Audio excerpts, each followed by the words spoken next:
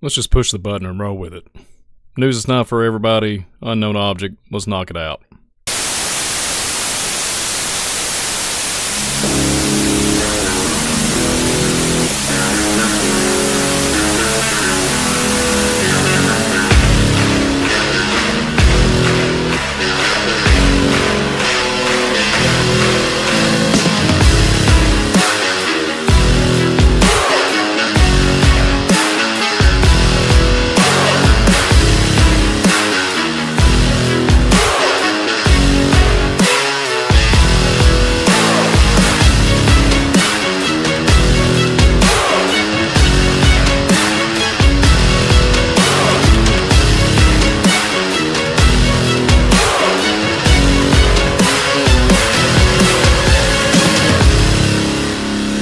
Got one that can see.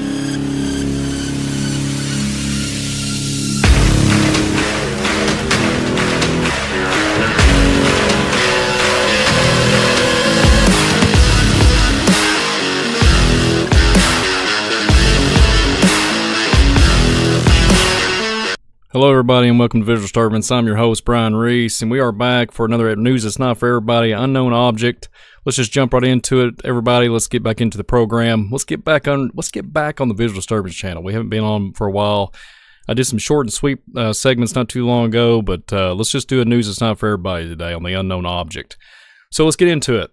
Uh, the first thing that comes to my mind when I talk about the unknown object is what kind of deception lays upon our eyes as far as what's what's in the skies. You know, you hear all about the UAPs, UFOs, all that good stuff, everything that comes around in the mainstream media and everything it seems to do with the UFO and the UAP phenomenon. It seems a little bizarro world in my opinion. So let's get into it. So according to the James Webb Telescope, according to the article, the James Webb Telescope is this city-like size unknown object was detected by this lovely um, let's just say rendering right off Wikipedia of the uh, James Webb Telescope. So it's correcting its course toward Earth. Oh no! You know, all those different things. Uh, I've heard a bunch of speculation online, a bunch of random drama. Uh, what does it What does it have to do with whatever? You know, there's all this. This device has been around for a while. Uh, it's not nothing new. It's been supposedly in the skies for uh, several years now, so to speak. But you know, comment below. Let me know what you think. You know, what what's really going on with the James Webb Telescope? I'm hearing it's a multi-interdimensional uh, wormhole, black hole, whatever type of thing that they can miraculously manifest. And you know, I've seen the actual specs and seen it and read it, looked at it, seen actual you know the full model that they supposedly videoed, whatever. Um, but supposedly it's uh, conducted of an infrared astronomy. Like it's the largest telescope is equipped with a high resolution. Um, I think it's a high res. What was it? Excuse me, lost my train of thought there. That's all right. Hey, welcome to Visual Disturbance. Um, it has highly sensitive, high resolution instruments, allowing it to view objects to odd distance. And I wonder what that is. I wonder if it's something to do with manifesting. You know, let's just say these dark matter, black holes, whatever you want to call it, quantifiable nonsense. The where the world's coming in 2024. It's always something. They just, you know, somebody feeding you full a bunch of bull, you know, whatever. So, um, let's get into one of these one of these things that I'm thinking about with all this. So, could it be the? Uh, I think it was called the Oumuamua. I think that that looked like a cigar shaped. I cannot believe that this is what they said. That they said it looked like. They took a picture from the so-called sky or the space above us, and this is the best picture they could come up with. I could draw, even with my vision issues, I could draw better than this with a pen and paper. So I'm just not trying to discredit anybody that actually said that they caught this with their highly sophisticated piece of equipment with their uh, telescope and they took that good old 3D rendering and it just manifested on paper. There's a little sarcastic with that, a little sarcastic. Oumuamua, Oumuamua. I've seen some of these. Uh, I will uh, speak about this. I've seen some in my backyard with these cylinder-like lines going across the sky in the backyard. So, if you really think about it, well, I'm gonna be able to pick it up with. If you can go back some of the programs I've done, you can go back and look at the some of the GoPro footage. I just literally was taking screenshots, like shots, shots of the of the uh, sky, and in night vision mode, and I was finding like these weird anomalies in the sky. So, is it a cylinder shape to take us to the Kuiper belt? What is it?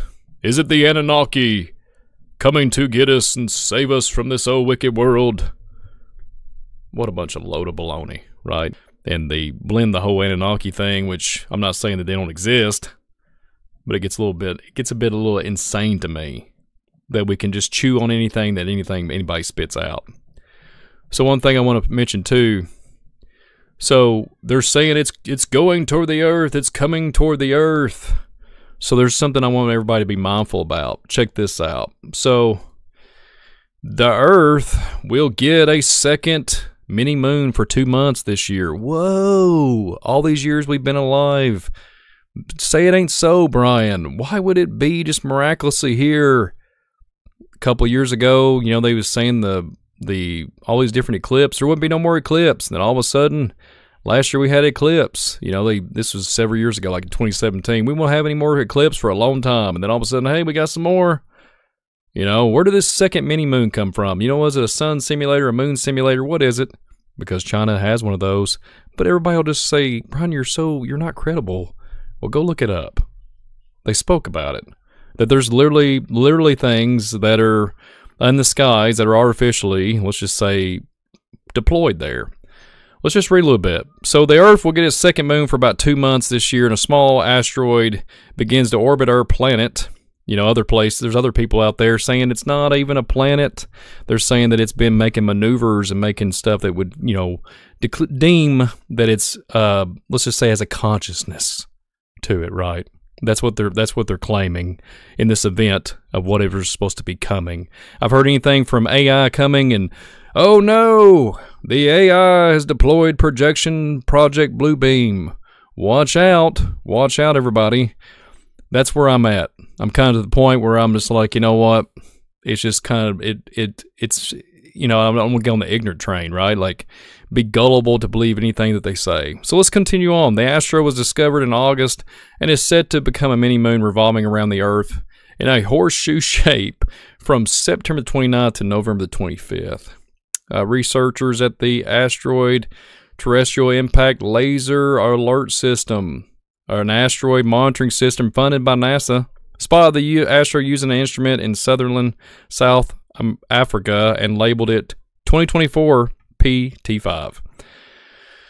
So if you look at this and you think about it, you talk about the orbiting of the Earth and the gravitational pull and all these different things that revolve around the so-called moon. And it's they even say on CBS, I've seen another gentleman on there, an astronomer, say that we won't be able to see it with the naked eye. It will not be visible in the naked eye. You'll have to have some type of telescope to some visual. And then all of a sudden, there's other people saying, "Hey, I can, I'm going to be able to see it." So how do you know that? And then another thing that really got me was there's some military applications and people out there in the know. I've seen some stuff on Twitter X. They're talking about, oh yeah, that they've been monitoring it for 36 months and 18 months. I've heard different numbers, you know, different time elapsed there. But uh, what would what would what's so compelling about it all is if you have this this article here saying they've been monitoring it uh, for since August. Excuse me, not August. The Astro was discovered in August. So if you got just last month, I think we're missing about 17 months, or even if you go to the 36 months, and they're saying it's making maneuverable capabilities that it's making looks like you know something that would be driven or flown, so to speak. And that's why I made the commentary about the Anunnaki or whatever. So let me know what you think in the description on this particular topic with this mini moon. Will men's hearts start to freak out when they start going to panic mode when this thing pops up? Whatever it is, if you get your telescope out there, if you got a P1000 Nikon, you go up there and zoom in on it. Are you going to be able to uh, articulate and take a picture? Are you going to be able to zoom in on the serial number and the license plate of the Anunnaki's flying aircraft? Welcome for welcome to news it's not for everybody uh, visual disturbance channel because there's a little bit of sarcasm and humorous factor to the whole thing. So that's and i'll digress. Let's continue on because i'm gonna get a little sarcastic uh, mindset here. So when i go and look at this and i think about this i'm thinking okay so what could really come from this? What is going on? We have all these things. We have wars and different things that are coming upon us in different micro levels and different things that come to a certain extent where you're like, okay, so what do we do?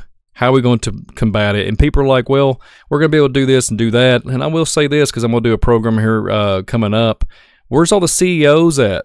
Why is all the CEOs, you know, the, the whole Mr. Diddy, Mr. Diddy, um, you would, the whole debacle with that and that whole scandal you would think, you know, that all the CEOs and stuff are all correlated with that some way. But wait, is there something to do with this?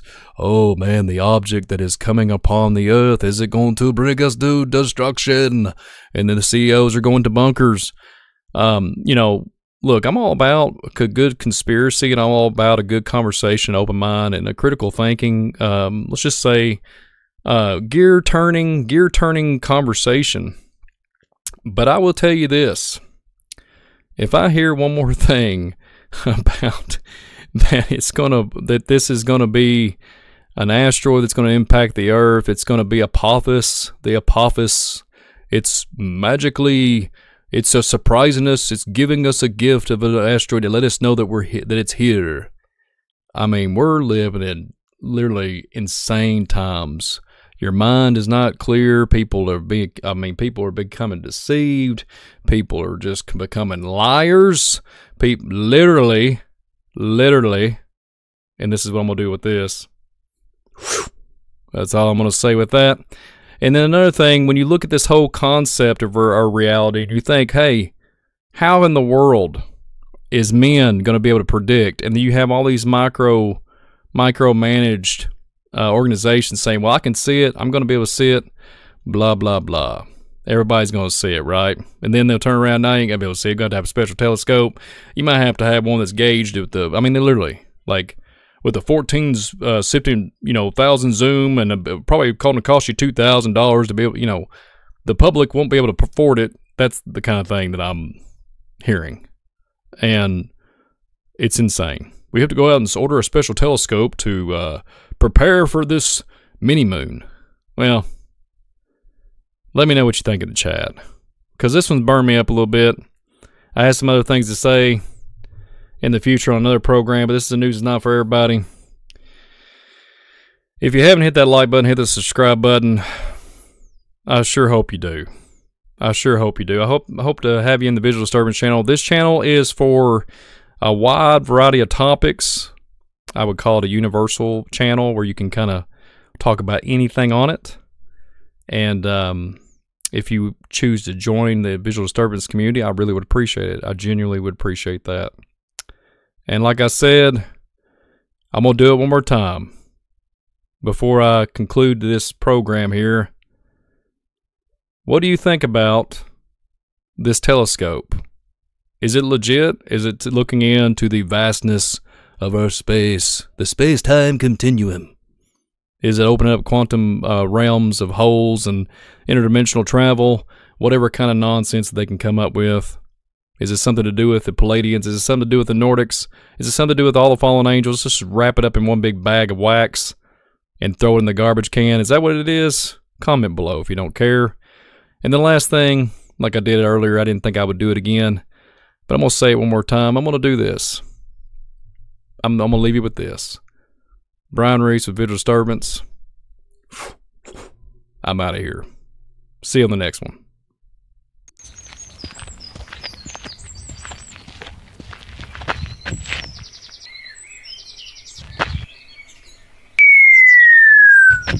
Huh?